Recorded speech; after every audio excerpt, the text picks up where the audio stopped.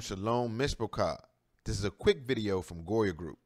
We're always striving to find the truth of the faith and the culture of the Abrim, or the Hebrews. The topic we will address here is one that leads to great contention amongst Yisrael, or Israel. Who are the ten tribes of the northern kingdom of Yisrael, or more specifically, where are the ten northern tribes today? The short answer is that no one can identify them for sure scripturally. But what can be said is that the texts inform us where they went after the Asher or the Assyrian captivity in the 8th century CE and where they will be gathered from in the great day of Yah, whenever that will be. It is Africa. As always, we will use two to three witnesses to establish any matter concerning the word of Yahweh. The first witness is Yeshayahu or Isaiah chapter 11. In the first verse of each chapter of Torah lies the historical context. For example, the Nabi we're looking at now, Yeshayahu, looking at chapter 1, verse 1, informs the reader that the vision concerning Yahudah and Yerushalayim that Yeshayahu, son of Amatz, saw during the reigns of Uzziyahu, Yotam, Akaz, and Kezekiahu, kings of Yahudah. Therefore, we know that this Nabi only saw the captivity of the northern kingdom of Yisrael because there were several kings left in the southern kingdom after Kezekiahu in 686. So he prophesied from Uzziyahu, right here, to Kezekiahu, right here, and all the kings in between. Now he specifically stated that Kezekiahu and Achaz, as they shared rulership, right there.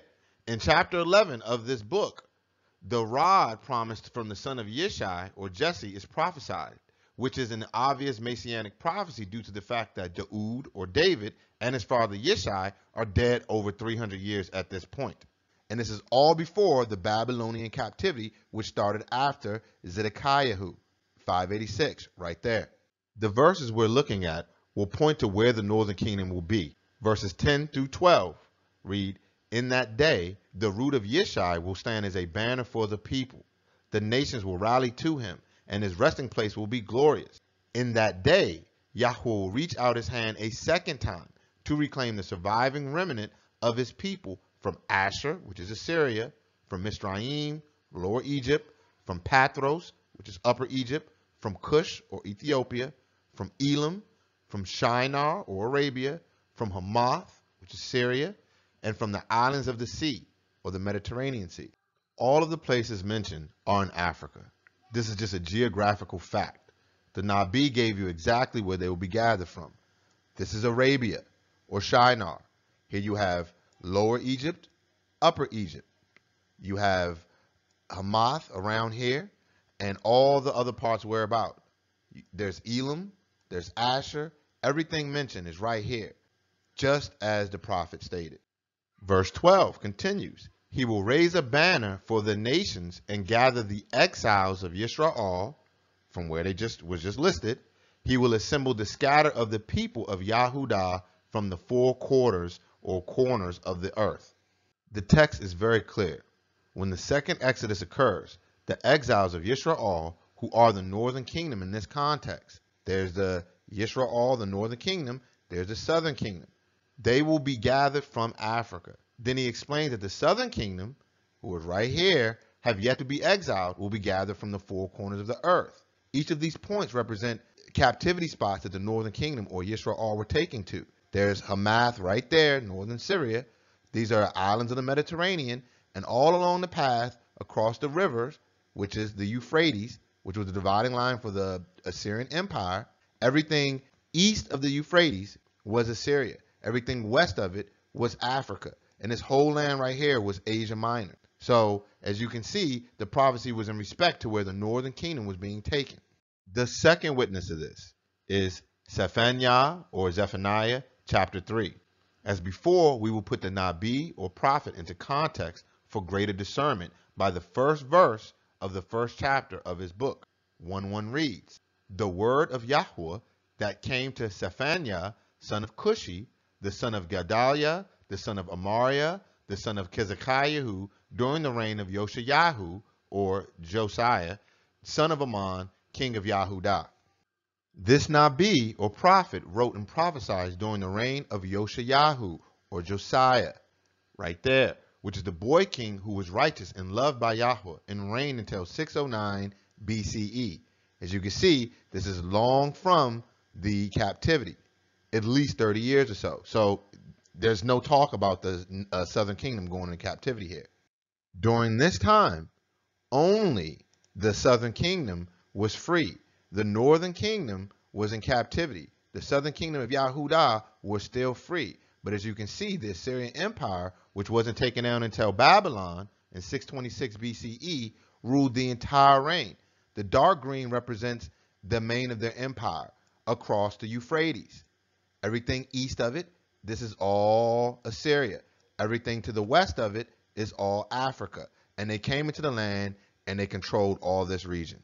Verse 10 of chapter 3 reads, From beyond the rivers of Cush, my worshippers, my dispersed or scattered people, will bring my offerings. This Nabi or prophet is referencing the dispersed, who are only the northern kingdom at this point in history, and where they will return from.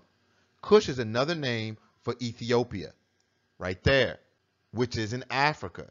Therefore, the dispersed of the northern kingdom are coming from beyond the rivers of Ethiopia in the day where Yahweh grabs the remnant of his people.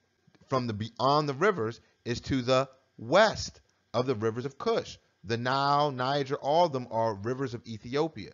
You have Upper Mitzrayim or and Lower Mitzrayim, Libya, and this is Cush, everything else. The third witness is from Ezra Dalet or Second Esdras of the Apocryphal writing. This word is from the late Latin apocryphus, meaning secret, not approved for public reading, and from ancient Greek apokryphos, meaning hidden or obscure, and were writings removed from canon by the Protestant Reformation and through the Catholic Council of Trent in the 16th century, about 1545 to 1563. So these writings were legit for over 1,000 years after the formation of Catholicism but after the split by the Protestants, it was decided they must be removed right before 1619, for whatever reason you may think. The reason Second Esdras was removed was probably due to the very passage people try and use to claim that Latino and Native American heritage for Northern Kingdom. Prior to this point right here, in the Council of Trent, they basically kept all of the Apocrypha in the works. After this, you get canon by the church. Ezra was Ha-Nabi Amet, or the true prophet in English. After the Nabi Zerubbabel, which means freed from Babel in English, and the construction of the second temple after the Babylonian captivity, as mentioned before. And looking at the first verse of the first chapter of his first book gives the historical context needed for the best understanding. It reads, in the first year of Koresh, which is Cyrus I, king of Persia, in order to fulfill the word of Yahweh spoken by Yirmiyahu, which is Jeremiah, Yahweh moved the heart of Koresh, king of Persia, to make a proclamation throughout his realm and to also put in writing. So he goes on and he explains how the uh, southern kingdom will be freed and have to build everything up. Yahweh lifted up this king and preserved him and aided him as he was the king who defeated Babylon. Therefore, Koresh decreed that Yehuda, or the southern kingdom, held captive by Babylon, would be freed in order to build the second temple. This command was not fulfilled, and Yahweh replaced Koresh with Darius, or Darius I, who did fulfill his promise to aid the Yehudim in the building of the temple. Chapter 13 of the apocryphal writings of Ezra focus on the dreams of Ezra about HaMashiach, or the Messiah. So clearly this book wasn't removed because it spoke against the Messiah or did not witness him. We will thoroughly examine verses 39 to 46 of chapter 13, which will explain exactly where the 10 northern tribes will be gathered from when Yahusha comes to collect them. It is the same place they have been since the Asher or the Assyrian captivity. It reads, And whereas you saw that he gathered another peaceable multitude to him, those are the 10 tribes which were carried away prisoner out of their own land in the time of Husha, or Osea, the king, whom Shalmaneser, the king of Asher, led away captive. And he carried them over the waters, and so they came into another land. But they, the ten northern tribes, took this counsel among themselves, that they would leave the multitude of the heathen and go forth into a further country where never mankind dwelt. This is speaking directly to the captivity of the northern kingdom under the king Hushai by the Assyrian king Shalmaneser, which is borne out in history and scripture. And he took them east across the waters. They went east. This is the Euphrates River, which was the natural dividing line for the Asher Empire. To continue, verse 42, that they might there keep their statues, which they never kept in their own land. So wherever they went, they went there to keep their laws. So it cannot be Native Americans, Latinos, or Native Mer Mexicans because there is no history of them ever keeping the laws of the Most High, and they do not claim the heritage. And they entered into the Euphrates by the narrow places of the river.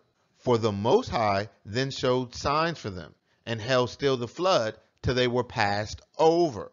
So they went west and into the Euphrates rivers after going east, which was the opposite direction they came from. Yahuwah held the water still until they passed over the Euphrates River.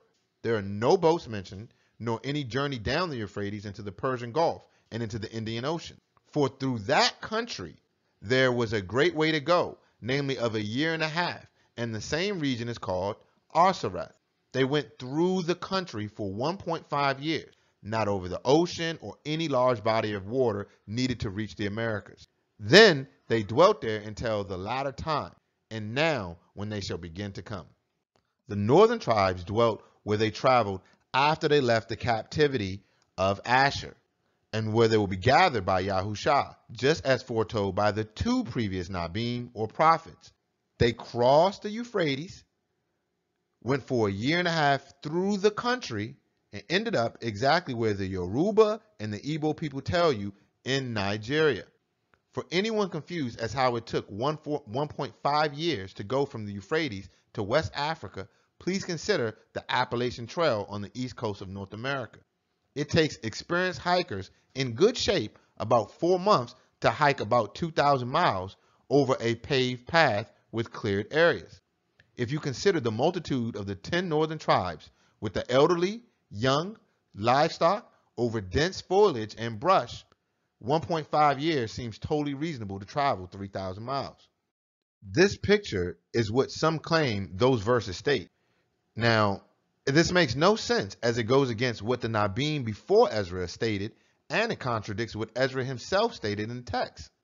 There was no Persian Gulf or no Indian Ocean adventure, no traveling over the water for a year. None of that is mentioned. So, in conclusion, according to scripture, the ten northern kingdoms that will be gathered in the great day of Yah are coming from Africa and from the mouth of three Nabim no less.